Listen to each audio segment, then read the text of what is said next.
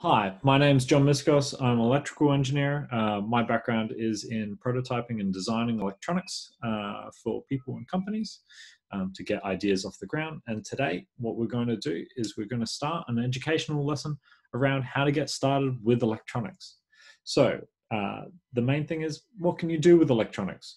So, if you look around in your everyday life, electronics is really part of your life. Um, so, this camera that I'm looking at, the computer, the coffee machine that I'm going to go to in a minute, um, they all contain electronics.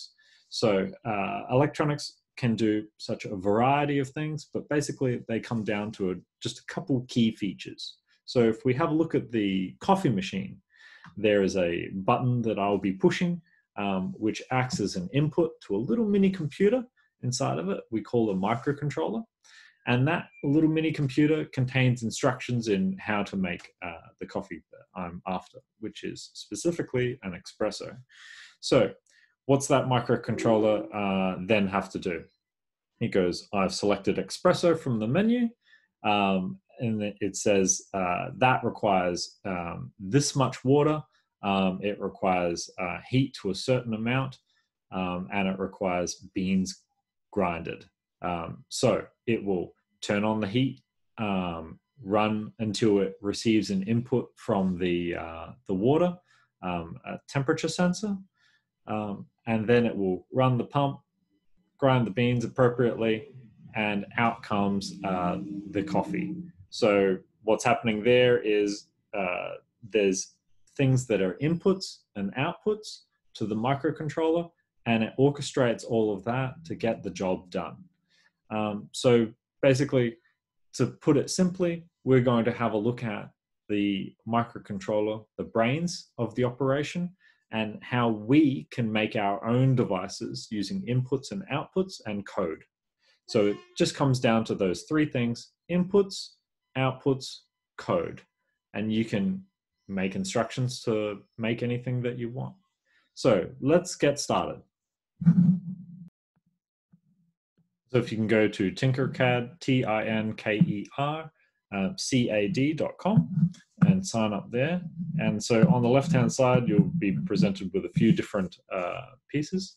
And so you can just go to circuits and start trying circuits.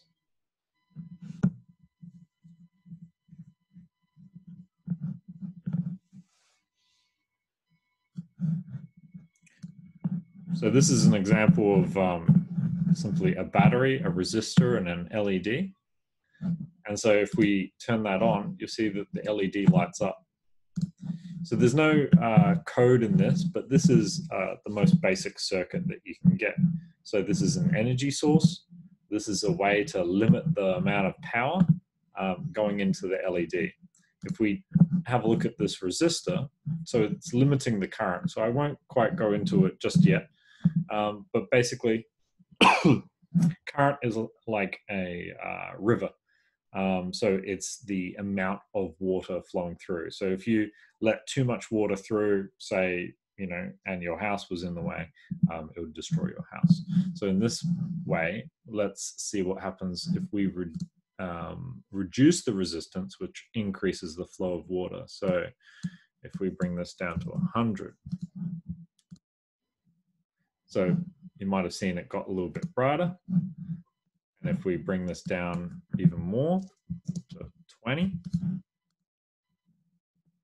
should be brighter. So we can see here, it's doing the calculation for us, which is quite nice. Um, it's saying that the current is 28.5 milliamps. So that's a measure of current. Um, normally you would go for about 20 milliamps. Adapt this on the fly. 10. Now it's 40. 5. 1. So it's 58. So technically in real life, we would have burnt um, the LED. Um, it might also be because uh, coin cells can't deliver as much power.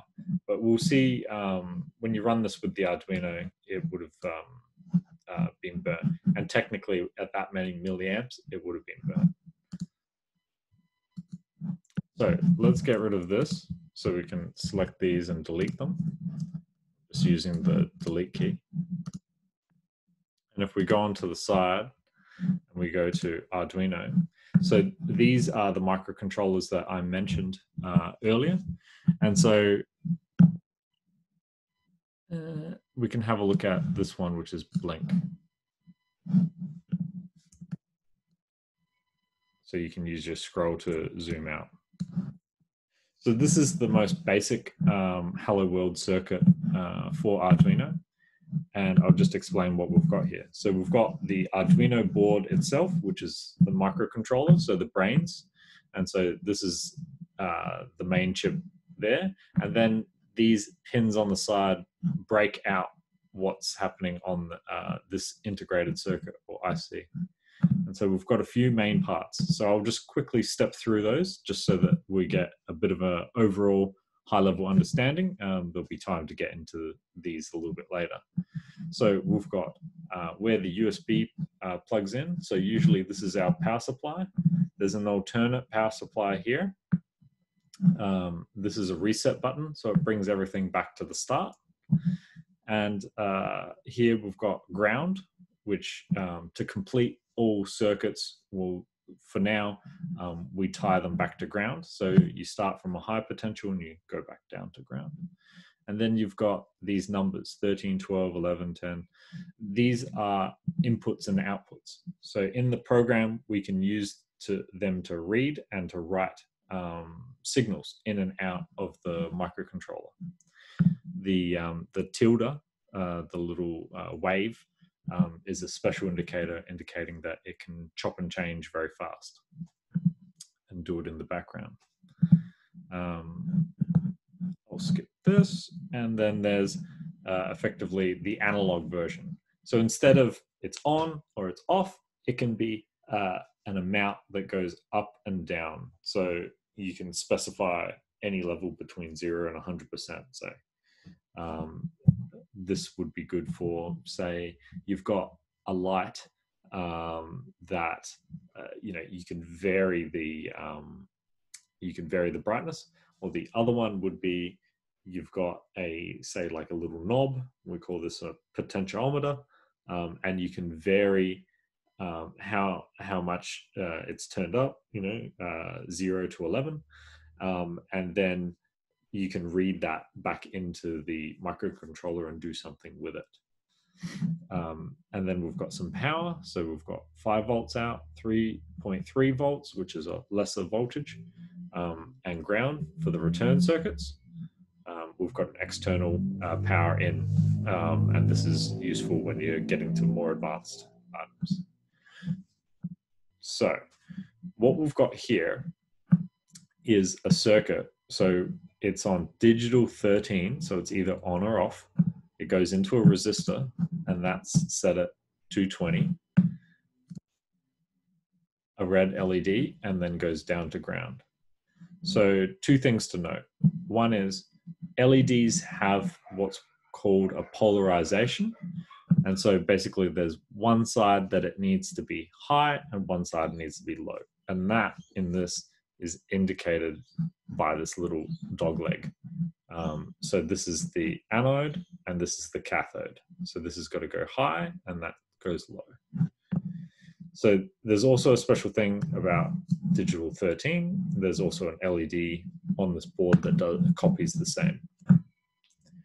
So the next piece is we can start the simulation and we see that the LED, along with this one, blinks on and off. So unlike before, we've got this pulsing action going. So the purpose of this is to, to um, see that this microcontroller is doing something special.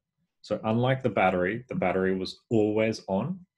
This one is pulsing on and off. So the thing is, how is it actually doing that? So if we have a look at the code, so this button here, we see there's lots of different ways of doing code, and uh, this is a good one for beginners. Um, so this is called blocks. so you can snap together these different bits of code um, to do things. So let's just stop the simulation for now. So in these blocks, uh, that's just a title, that's a comment. So in coding, we use comments to be able to tell what we um, are doing. It's good for reference later. So uh, blue is an action block. Um, so it goes set built-in LED to, I can do high or low. So high is on, low is off. Wait a certain amount of seconds, and there's something called milliseconds, which is um, hundredth, no, a thousandth of a second. Um, then a comment, and then we go turn it low and then wait. Now the thing is, when it drops out the bottom, it simply comes up to the top and starts again. So this is what we call a loop. This is our main loop. So if we were to, hello cat, if we were to change this to two seconds, what we should see is it turns on, waits two seconds, and then turns off for one second, and then repeats.